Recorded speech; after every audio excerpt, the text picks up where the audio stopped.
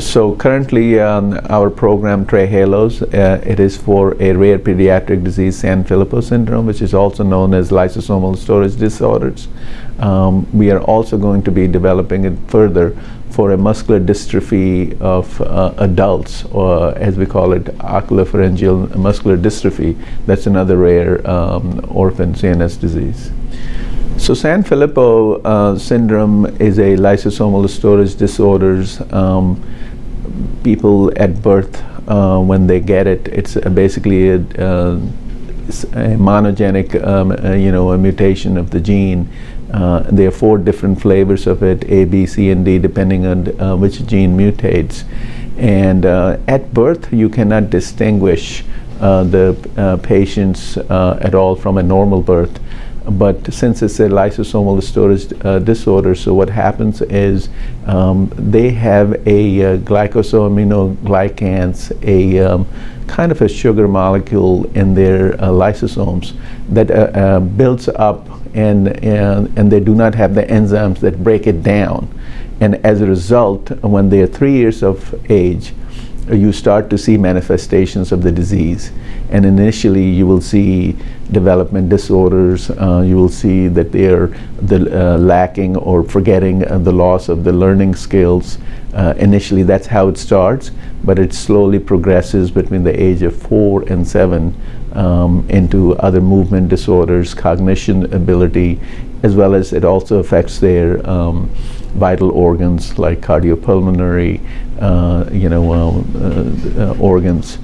And uh, it is very sad to see that it has become a terminal disease that 70% of the patients do not survive their 18 years of age, although few patients do live into the early adulthood. So that's the disease. And currently, uh, since most of these patients were lacking in enzymes, people thought that we can per perhaps provide um, uh, you know enzyme from outside, so so-called enzyme replacement therapies. And unfortunately, uh, what we have seen recently that they have not been successful.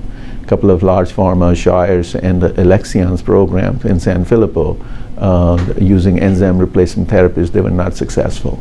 The other approaches that people uh, are trying in the industry are gene therapy programs that have shown at best modest efficacy so far.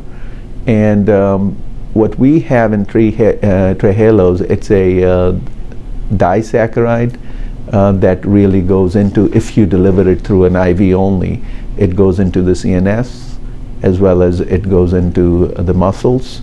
So hence, uh, uh, we have earlier data, human data, that shows in the muscles, uh, in the OPMD patients, it has shown uh, remarkable efficacy.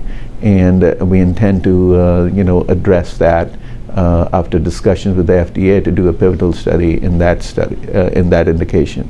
For Sanfilippo, we have in vitro data where we obtain the fibroblasts uh, cells from these uh, patients, um, Sanfilippo patients of all different flavors, A, B, C, and D. And in all those four different kinds of fibroblasts, when we treated them with trehalose, we were able to show uh, the reduction in the GAGs um, within a week. And so with that, um, you know, strong scientific rationale, we have partnered with Team Sanfilippo Foundation and we will uh, be soon starting uh, the uh, uh up to 20 patient pivotal study in uh, Sanfilippo patients of all four different kinds, A, B, C, and D.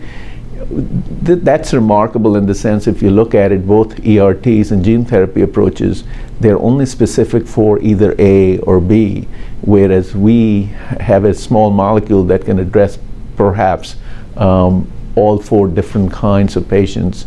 Um, so we are uh, enrolling all those patients or, uh, in the coming study.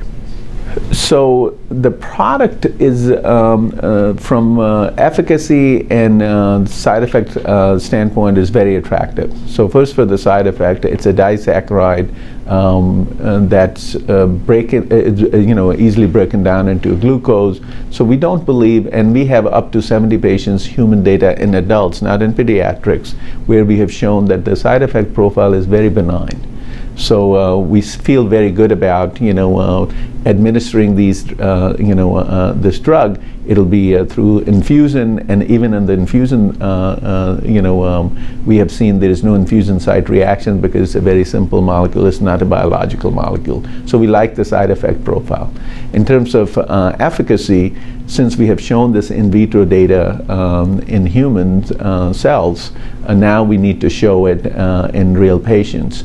And um, so, uh, so first, you know, uh, uh, rule of development of the drug: do no harm. Second, have a strong scientific uh, rationale.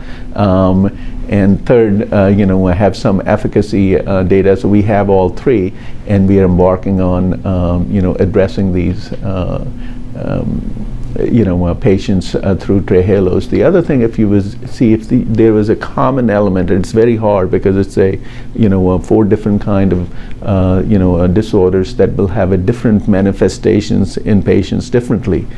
But if you were to see, see a common element, it's um, swallowing and walking, uh, you know, and, and we have shown that the disaccharide in adult population, at least when we did the OPMD study earlier, where our uh, endpoints were swallowing and the, and the secondary endpoints were walking, you know, um, showing the muscle strength. we have shown that um, uh, efficacy, so we believe that um, this is uh, a good rationale to take this uh, drug into the pivotal study in Sanfilippo.